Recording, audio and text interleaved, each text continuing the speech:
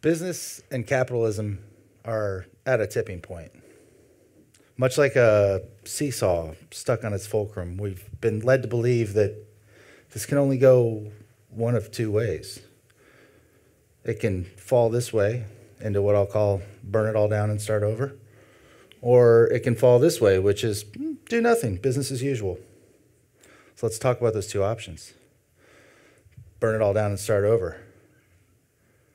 And with it, acknowledge everything we've grown to just disdain about business the greed, the exploitation, the sexism, the bro culture, the homophobia, the racism, the bias, unconscious and sometimes, unfortunately, conscious.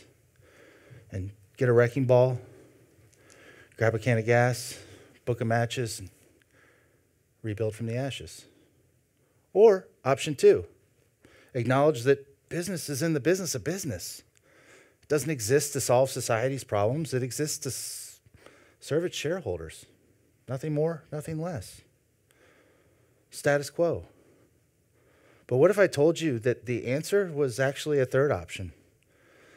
The next iteration of capitalism, the future of business is actually in the middle. But if we're going to talk about the future, I think it's important that we understand the past, some of the present, or what I'll call option two, business as usual.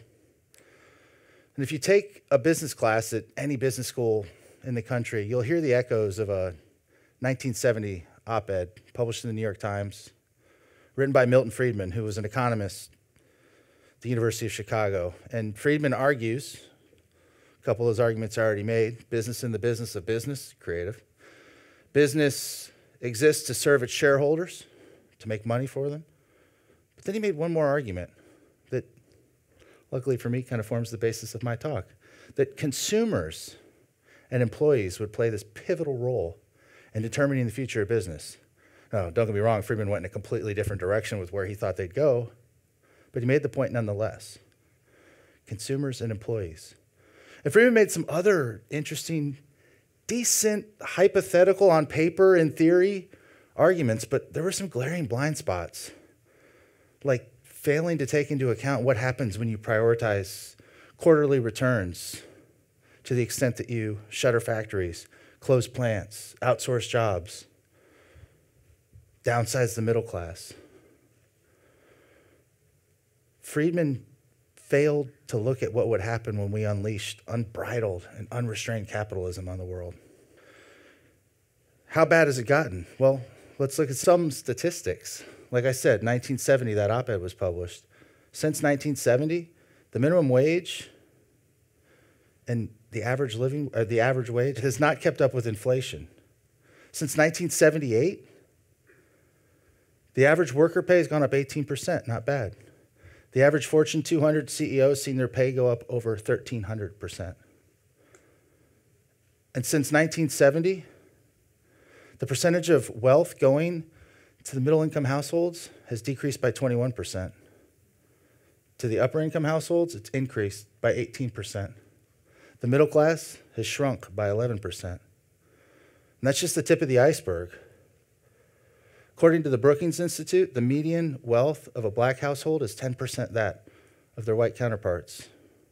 Black entrepreneurs receive between 0.7 and 1.3% of startup capital. Women receive less than 3%. And speaking of actual literal icebergs, our focus on profit over everything has led us to turn a blind eye to a really extractive and damaging means of production and distribution and consumption that's led us down a path that threatens our very existence. So, as I throw all these statistics out at you, it's very clear capitalism is the evil in the room. It's the, uh, as we would say where I'm from in Georgia, the devil doing its work. Greed's taken over. And clearly, this pretend business guy standing in front of you with a red sport coat on is just one of those gas can carrying socialists ready to burn it all down. But I hate to burst your bubble. I'm not. I'm actually an unapologetic capitalist. But what does that mean? What does capitalism even mean? We haven't even defined it yet. Well, according to Merriam Webster, Capitalism is simply the private or corporate ownership of capital goods, that is, goods and services, products that we buy. As determined, price with sorry, with pricing, production, and distribution determined by two very important words the free market. There's nothing in that definition about a select few accumulating more and more wealth.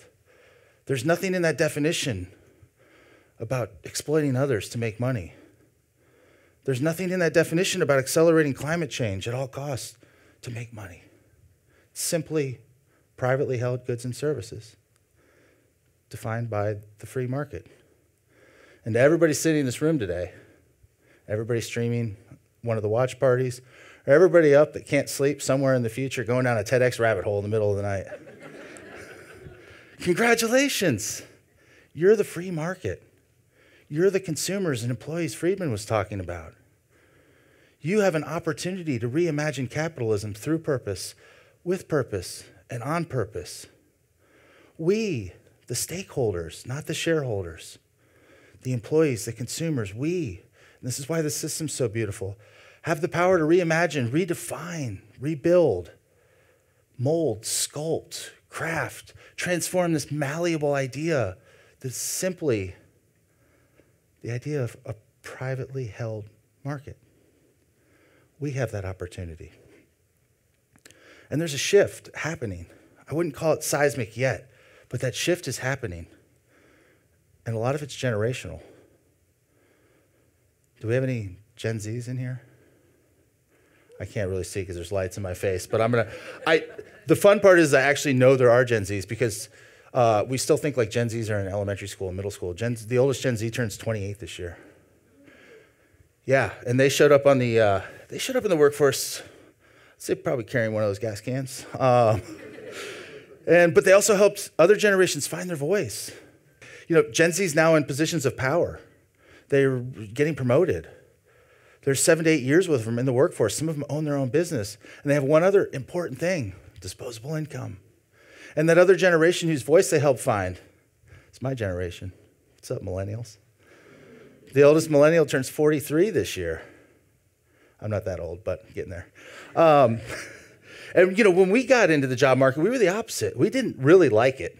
We weren't thrilled about the status quo, but we took the advice of our parents and we just kind of kept our head down. We worked hard. We chased that promotion. We remained loyal. But then Gen Z showed up with their, um, oh God, what's the nice way to put this? outspoken opinions about everything. and we realized suddenly that we had this almost near majority of employees, of, cons- of uh, consumers. We had an opportunity to change the future of business. And lucky for us, we didn't have to prove it in theory we had a sample set, a growing sample set of companies that we could point to and go, look at this. See, it's possible. Because everybody says it's not possible. And then we looked and we went, oh my God, it's the B Corporation movement. It's B Corps. It's companies you know like Patagonia, Tom's of Maine, Warby Parker, Cotopaxi, Tillamook Cheese, 6,200 companies around the world in 88 countries employing over half a million people. Companies that are certified by an outside third party and how they handle corporate governance, transparency, legal protection of all stakeholders, worker benefits, living wages, time off, parental leave, social impact, community investment, a commitment to diversity, equity, and inclusion, environmental practices that are regenerative instead of extractive, and treating customers like actual you know, human beings. We had this movement to point to. And if you still don't believe me, because you, you know anybody that took an introduction to business class knows, and I'm trying not to bore you with econ talk, but bear with me. You have you know money coming in, what you sell, your goods, your services, your widgets, and then you have expenses going out. All those things I just mentioned: higher pay, better benefits, longer leave, investing in environmentally you know, alternative sources. Those are all expenses. So on paper, that can't be good for good for business, can it? It has to be bad for business, it's bad for the bottom line. But what if these aren't actually expenses? What if they're investments? What if they're investments that help us sell more? And so I'll share a couple statistics, and I promise it's the last data set. So bear with me one more time. A McKinsey study at the beginning of the Great Resignation, September 21, found that 40% of employees were somewhat likely to leave their job. Of those that had already left, 36% left without another job lined up. Of those that hadn't taken the leap yet, 64% were willing to do so without an offer in hand. Think about that. Any parent with a young adult entering the workforce was probably the first piece of advice you gave them. Any young adult probably got that advice from their parents. It's gotten that bad. We're not even lining up other jobs, we're just quitting. And then a Qualtrics survey in 2022 found that 54% of employees were willing to take a pay cut to work with a company whose values they align with. Another 56% of employees, this is all employees, not just the Gen Zs and millennials I mentioned, would never even consider working for a company whose values they didn't support. And companies like B Corps and purpose driven, mission driven companies and enterprises, and even the big corporations are figuring this out. And they're snapping that talent up. B, the B Corp community in North America grew by 36% in the last three years. And the demand is so high for the certification that it can take up to 18 months just to go through the verification process. So, what then is my call to action? What are we reimagining? How do we do it? And as I look out at this room, I see different ages and races and ethnicities and genders. I see this beautiful picture that is America. And I see this beautiful picture that makes up the world's most powerful economy, or as our Gen Z friends would call it, the world's biggest influencer. So, let's influence, let's lead. Let's make the business case, the free market case, the employee consumer case, the Friedman case, if you will, for businesses that exist with meaning and purpose. Let's be intentional about doing this. We can be intentional in so many ways, but we're going to focus on a couple. Number one is be intentional with where you spend your money. Reward great companies with your hard earned dollar. If you don't support their values, if they don't align with yours, don't shop there. And I'll share three quick examples with you and how I'm intentional with where I spend my money. And I've noticed that nobody's really looking at my eyes, everybody's looking at my shoes all day. Um, these are my Tom's Cabrillo sneakers, and anybody with a size 14 knows that I ordered every pair online because once you see them, they're gone. They only make like one pair above like 12. So I can buy sneakers anywhere. I love these things. They're comfortable. I think they look cool, as cool as a 40 year old can look. so, why Tom's? Well, I know that Tom's donates 33% of their profits back into grassroots community organizations. I've read Tom's annual impact report.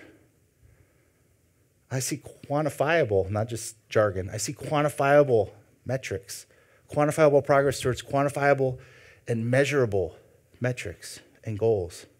I know they live their mission every day, and I love to support them because I'm not only supporting their mission, I'm supporting their bottom line. Next one, if you can't tell, I tried to tone it down on the coffee today, but I love coffee. Um, I can buy literally a commodity, right? I can buy coffee anywhere. But I order coffee from Cafe Campesino in Little Americus, Georgia, beautiful little town, about hour south of Atlanta, close to where I live. I buy Cafe Campesino because I know in the late 90s, they got a bunch of roasters. They had this crazy idea. Let's get a bunch of these, these small roasters together and let's order in bulk from these small farmers down in Central and South America. And let's not pay commodity prices. Let's partner with them. Let's pay fair market value. And over the last 20 years, they've lifted up entire communities in some of the poorest parts of the world. They've created wealth and opportunity in places where we've always exploited and extracted. So, yeah, I get to drink a great cup of coffee and I get to know that's what my money's doing. That's what I'm supporting, real change. And last, my last example is my go to thank you gift. I just hope one day you're on my list because you'll get Greyston Bakery brownies. Um, I can literally get thank you gifts anywhere. I can get brownies anywhere. I can make my own thank you card and I can make my own brownies. But I send them from Greyston. Why? Because I know in the early 80s, they saw societal issues in Yonkers, New York, where they're headquartered. They saw rising recidivism.